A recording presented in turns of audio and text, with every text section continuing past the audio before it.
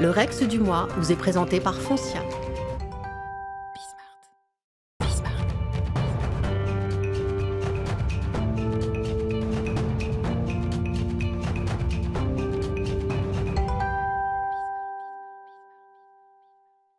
Le Rex du mois, comme chaque mois, avec Frédéric Fougera. Bonjour Frédéric. Bonjour Arnaud. Directeur de la communication euh, du groupe Emeria, euh, ex-Foncia, hein, pour, euh, pour commencer à raccrocher les, les wagons. Alors, on parle souvent de l'image employeur euh, versus la communication interne.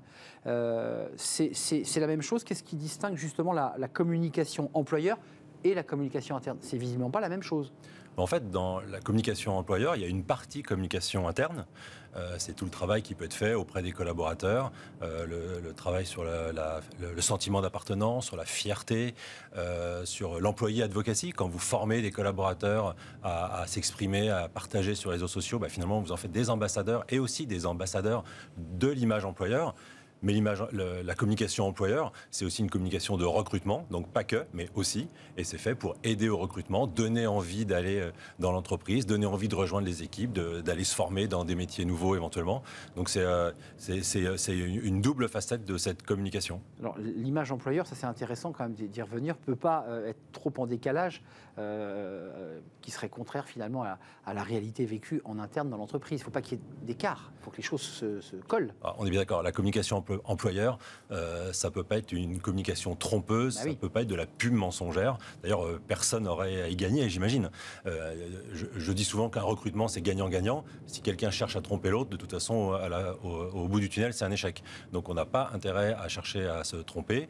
On doit faire une communication positive, on doit valoriser ses Hmm. atouts, ses- ses ambitions, ne pas mentir. Alors, on n'est pas toujours obligé de tout dire, mais en tout cas, il ne faut pas mentir. Et puis le risque, euh, de toute façon, euh, si on ment, si on cherche à tromper les autres, c'est que ça va très vite se savoir. Ce sont les collaborateurs eux-mêmes qui vont dire, bah non, dans l'entreprise, ça se passe pas comme ça. On, Oui. on vous présente l'entreprise de cette façon. Bon, en fait, euh, c'est- c'est pas la réalité. Hmm. Donc voilà, on parle, on a déjà parlé ici Oui, de discours absolument. de réalité employeur. Il faut, il faut, il faut dire les choses telles qu'elles sont et, et avoir un discours de réalité employeur pour ne juste simplement pas mentir aux gens et pas les tromper en, les- en cherchant à les, à les attirer dans l'entreprise. Certains, d'ailleurs, candidats parfois rentrent directement en contact avec les, des personnes dans l'entreprise par des réseaux euh, pour savoir exactement comment ça se passe. hein. Mais Enfin, il y, euh, il y a aujourd'hui une transparence telle Ouais. que euh, ça serait absurde de mentir, mais ça serait surtout absolument enfin, une erreur, puisqu'on se, on se ferait très vite rattraper. Et donc ça, aurait un, ça a un contre-effet. ça devient, ça- cette communication euh, fausse aurait un impact négatif. C'est tout le contraire de ce qu'on cherche à faire normalement. Alors, il y a aussi l'effet boomerang hein, euh, avec les réseaux sociaux, puisqu'on les évoque là. Par, c'est c'est qu'effectivement, les réseaux sociaux permettent d'informer en temps réel et de pouvoir avoir une presque transparence. Donc, c'est effectivement très dangereux de mentir. Mais exactement, des, des détracteurs, il y en a partout. Comme vous le dites, ils sont euh, énormément sur les réseaux sociaux. Les réseaux sociaux, ils sont très bruyants, ils sont très facilement accessibles. Mm.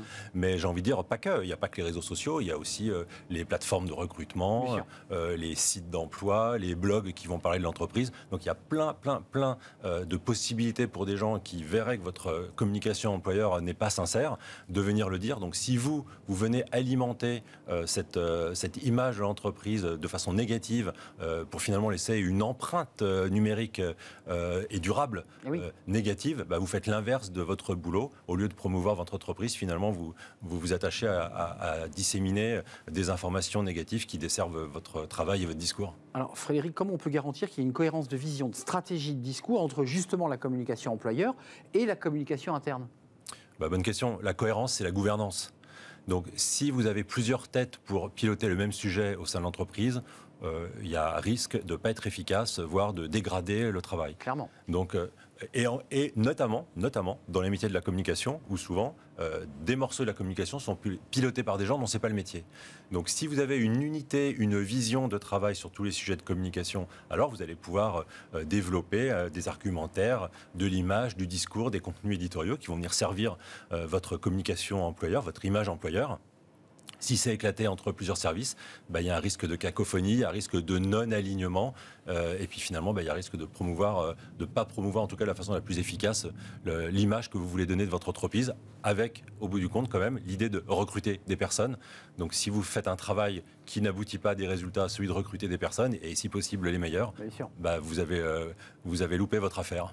Mais ce que vous nous dites, Frédéric, pour être extrêmement concret, c'est que dans votre fonction, par exemple, il faut avoir la main sur les deux sujets de manière à ce qu'il n'y ait pas de, de zone irritante et de zone de friction euh, Alors, je ne sais pas ce que vous mettez dans les deux sujets. Euh, dans, la communication employeur, euh, on est un prestataire interne de la direction des ressources humaines. Je ne sais pas si c'est là où vous vouliez en venir. C'est ça. donc, la, direction des ressources humaines, c'est notre client, notamment sur la partie recrutement, pour les aider à recruter.